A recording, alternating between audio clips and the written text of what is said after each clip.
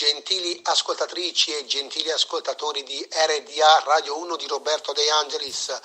buonasera da Alberto Fiano, esattamente lunedì 29 gennaio, ovviamente corrente anno, sono le ore 23 e 18 minuti.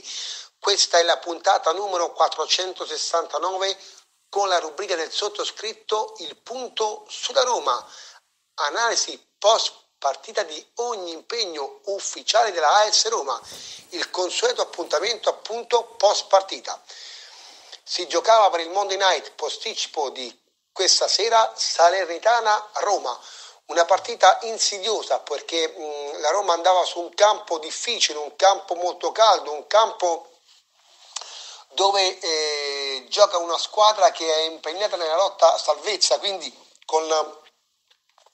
la cosiddetta bava alla bocca. La Roma in questo campionato in trasferta ha dato poche soddisfazioni ai suoi tifosi e quindi era chiamata ad una, una prova convincente, ma soprattutto a prendere tre punti contro una compagine tecnicamente inferiore per ehm, continuare quel discorso intrapreso otto giorni or sono col Verona all'Olimpico all'esordio di Daniele De Rossi in panchina e per continuare comunque la risalita in classifica in queste mm, partite che sulla carta sono abbordabili ma poi c'è sempre da soffrire, da sudare, da combattere come è successo con il Verona, come è successo oggi anche a Salerno, mm, però mm, meno male che la Roma ci è riuscita lo stesso identico punteggio con cui otto giorni or sono hanno battuto la formazione scaligera. Salernitana 1, Roma 2 e, e quindi la Roma ora eh, si rilancia in classifica e sta a meno 1 dal quarto posto. La, mm, la Roma eh, nel primo tempo cerca di eh, iniziare bene la partita, alza il baricentro, cerca di imbastire delle trame offensive eh, con eh, un po' come si era visto con lo stesso spartito canovaccio tattico con il Verona, ma non riesce comunque a far male alla compagine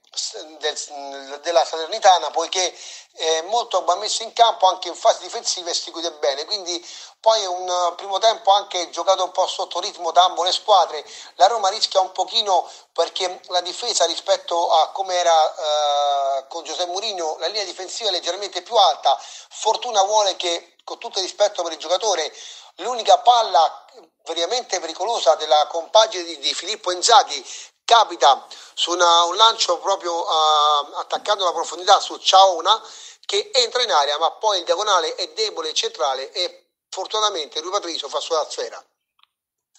Nel eh, secondo tempo la Roma cerca di partire con un piglio un po' più vivace, eh, intenzionata a guadagnare tre punti che sanno per lei essere fondamentali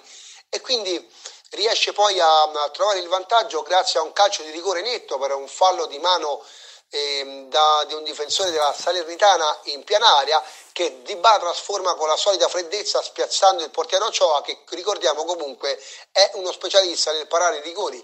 La Roma passa in vantaggio, da lì la, la squadra si scioglie un po' di più, ehm, acquisisce un po' più di personalità, un po' più di coraggio, un po' più di verva anche, di fluidità di manovra, anche un po' più di velocità e, e, e infatti proprio eh, con una trama veloce, eh, sempre ispirata da un grande Dybala, riesce a, a, a pervenire al raddoppio con Capitan Pellegrini e portarsi sul 2-0. Quando la partita sembra fatta, ormai la pratica sembra chiusa, però purtroppo eh, eh, il classico errore un po' di deconcentrazione la riapre con Casanos che devia di testa un, in rete un pallone dove eh, anticipa Christensen in netto ritardo, un altro difensore della Roma e anche lui Patrizio non ci sembra impeccabile perché la, eh, si guarda un po' la sfera non tentando neanche di protrarsi in tuffo per parare il colpo di testa a schiacciare all'angolino dell'attaccante appunto di, di Filippo Inzaghi. Lì poi la Roma soffre ovviamente. Daniele De Rossi apporta dei cambi, Zaleschi per il Sharawi. Eh, tanto per dirne una, che riportando poi Zaleschi alla sua posizione originaria con cui anche nella Roma Primavera è sbocciato e, ehm, e quindi tenta un po' di arginare questa voglia di eh, rimonta appunto della Salernitana, si soffre ma la Roma anche qui eh, dimostra comunque di saper soffrire, di avere quegli attributi, quella, quella coesione anche di squadra a livello proprio di spirito di mh, essere eh, un'unità di intenti e portare a casa tre punti fondamentali, importantissimi per il morale, per proseguire a lavorare al meglio ed anche per la classifica. E, co- e così missione compiuta. Ehm, ovvio, Daniele De Rossi ha ancora molto da lavorare, ma già comunque si comincia a intravedere un po' la sua mano su certi dettami tattici e anche, perché no, emotivi della squadra che anche di testa sembra un po' più libera rispetto alle ultime esibizioni di quando c'era José Mourinho. Ora il prossimo appuntamento è fra sette giorni esatti, un altro Monday Night, stavolta all'Olimpico, Roma-Cagliari,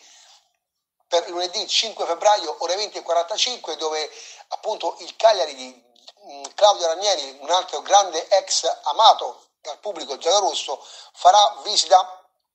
all'Olimpico per un'altra battaglia perché ci sarà da soffrire e combattere, ma bisogna anche lì prendere tre punti fondamentali per far sì che eh, eh, si prosegua questa rincorsa al quarto posto e per poi andare anche più liberi di testa e senza troppe pressioni al big match di sabato 10 febbraio ore 18 contro l'Inter qui allo Stadio Olimpico sempre però ovviamente ora eh, ti si gode questa vittoria e domani si pensa a Cagliari si va avanti partita per partita come eh, è giusto pensare appuntamento dopo appuntamento. Chiudo eh, con due interventi. Il primo, eh, ricordando il più grande bomber della storia del calcio italiano, ossia della nazionale, che ancora detiene il record di gol, Gigi Riva, scomparso a 80 anni, il cosiddetto celebre rombo di tuono, quindi ehm, onore e che riposi in pace questo grande campione.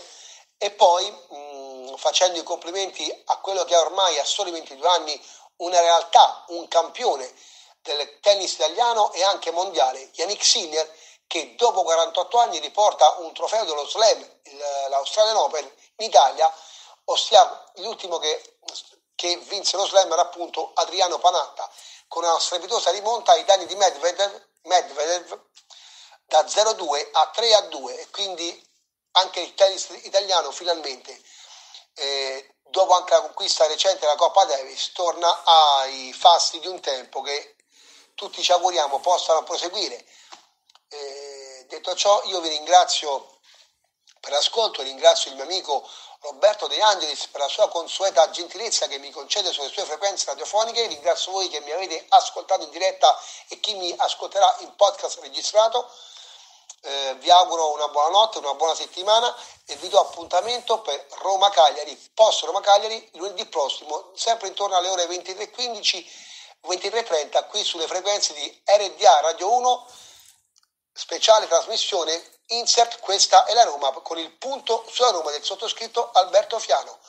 Ciao, buonanotte e ovviamente chiudiamo come sempre con l'immancabile Daglie Roma, Daglie!